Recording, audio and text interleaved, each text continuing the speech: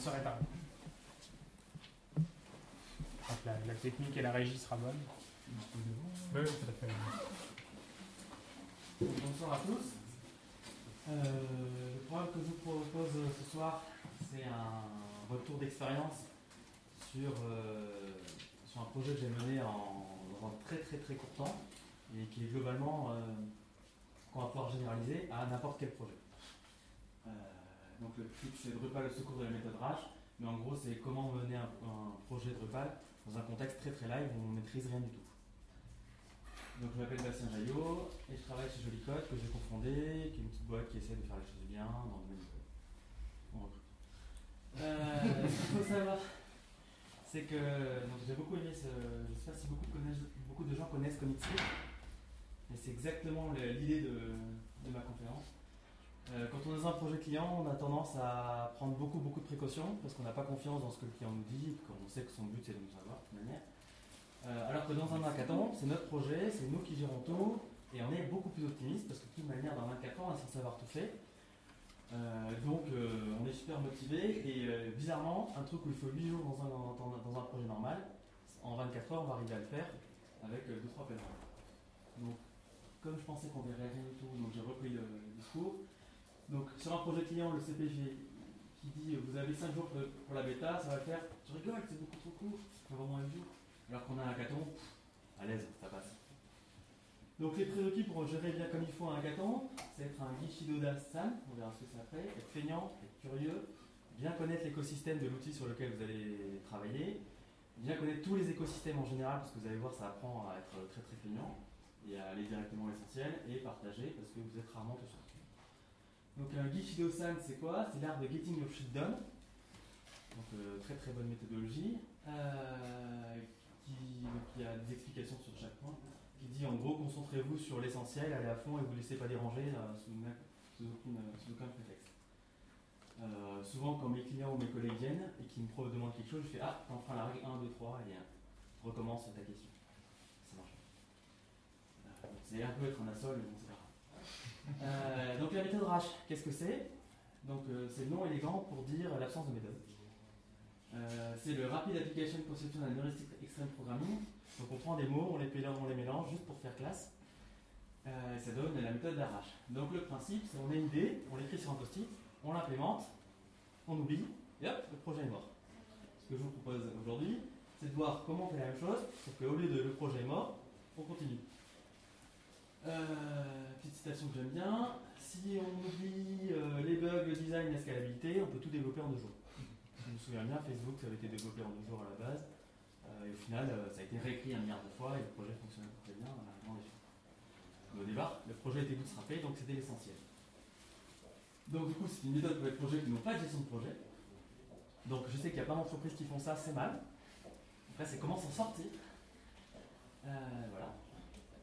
Donc on va essayer de faire mieux dans la même durée, parce que au final c'était pas un hackathon, c'était euh, pire que ça. C'est-à-dire que les gens qui ont travaillé sur le projet, euh, on avait tous consultants en temps plein, donc on avait vraiment zéro minute à nous, et on avait une conférence de presse à l'Assemblée nationale deux jours après.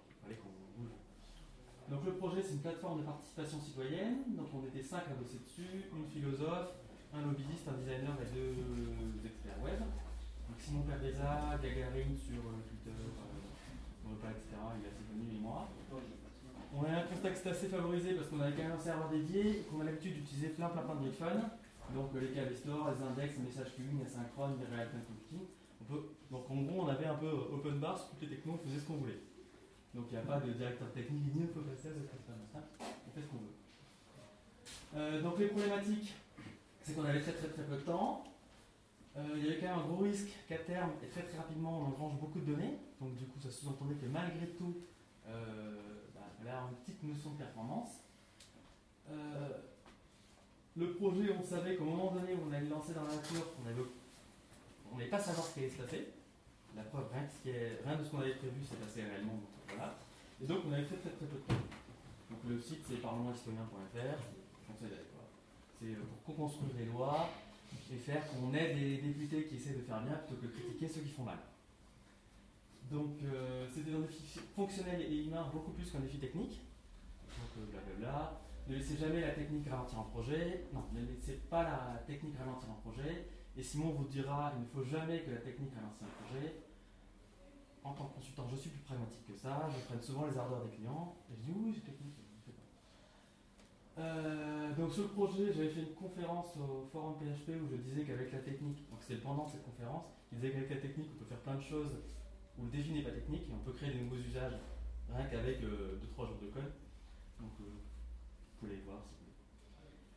Donc l'étape 0 du projet, c'est la réduction du périmètre. On prend le périmètre, on divise, on prend le périmètre, on divise, on prend le périmètre, on divise.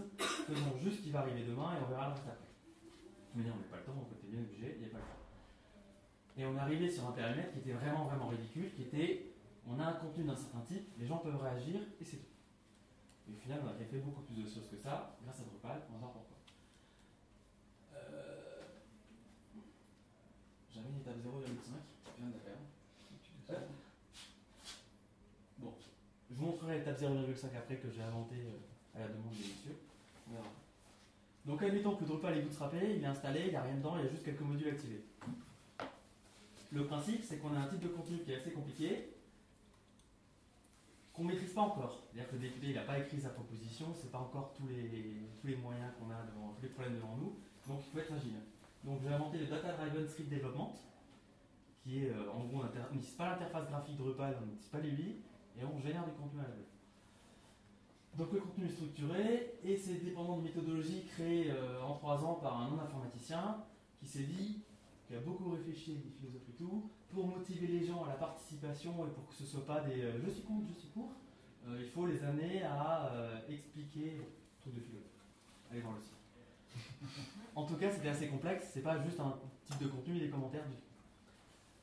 Donc, de manière très très très très très très simplifiée, un schéma. Donc la partie gauche, c'est la proposition que le député fait, et la partie droite, c'est les gens qui interagissent. Donc le principe, c'est qu'il y a un élu qui, fait qui propose une enquête, donc il y a plein de champs, j'ai fait la version réduite. Sur une enquête, il y a plein d'éléments d'enquête qui sont avec une hiérarchie, il y a plein de bundles différents, donc il y a plusieurs éléments d'enquête, sur lesquels on peut relier les sources. J'ai oublié que les sources sont reliées aux éléments d'enquête. Ensuite, les gens peuvent poser un avis sur une enquête avec plusieurs éléments d'avis par élément d'enquête et sur lesquels on peut voter. C'est bon? Voilà, donc on avait deux jours pour faire ça, du coup. Euh, donc le principe, c'est qu'on a fait plein, plein de tours d'interaction, dire non mais ça passe pas, non mais ça va pas, on modifie le contenu, on reprend. Sur la partie gauche, la partie droite c'était un peu en live, on a adapté au fur et à mesure. Mais la partie gauche, il fallait que ça sorte euh, à la conférence de presse, donc du coup il fallait que tout soit prêt. Euh, donc on a dû lancer au moins on a 50 fois, on a créé un contenu, supprimé ça. Donc quand c'est un truc qui a. Donc user, user, euh, donc les utilisateurs et les élus sont les users. Ensuite, on a un node. Tout le reste, c'est des entités créées par le CK. Et ensuite, on a voting API pour le vote. Donc rien de très euh, compliqué pour cela. Mais je crois que l'enquête, la première que j'ai créée, qui, était sur la crise de confiance euh, dans le domaine de la politique, des éléments d'enquête, il y en avait 50, je crois, pour un seul node. Donc du coup, ça faisait 50 nodes à la main avec une hiérarchie. Génial à saisir. Donc évidemment, on ne les a pas saisis. Euh, et en plus, accessoirement, créer une interface graphique, euh, une interface ergonomique pour créer un arbre contenu arborescent avec des liaisons entre entités dans le même contenu, c'est-à-dire qu'il faudrait sauver environ 50 fois pour créer un contenu différent. Bon, c'est pénible, Et à, l'heure d'aujourd'hui, lui n'est toujours pas fait. Euh, J'ai mis ça dessus. Donc sous le capot, euh, un, fichier YAML qui contient tout le, tout le contenu, un loader YAML qui parse tout et qui crée tout avec un petit property values create entity en for Et c'est fini, ça m'a pris euh, maximum 8 minutes à coder. Parfait, ça passe. Donc c'est la logique des fixtures dans Symfony 1, et dans Symfony 2 dans n'importe quel projet, avec en gros on se dit qu'il y a un schéma.yaml et un contenu.yaml, et on lance un script, ça fait tout, ça régénère tout, ça rentre le contenu, est-ce que ça me va? Oui, non, on passe à la suite. Sinon on recommence. Comme ça, ça permet d'aller très très très très vite et pas avoir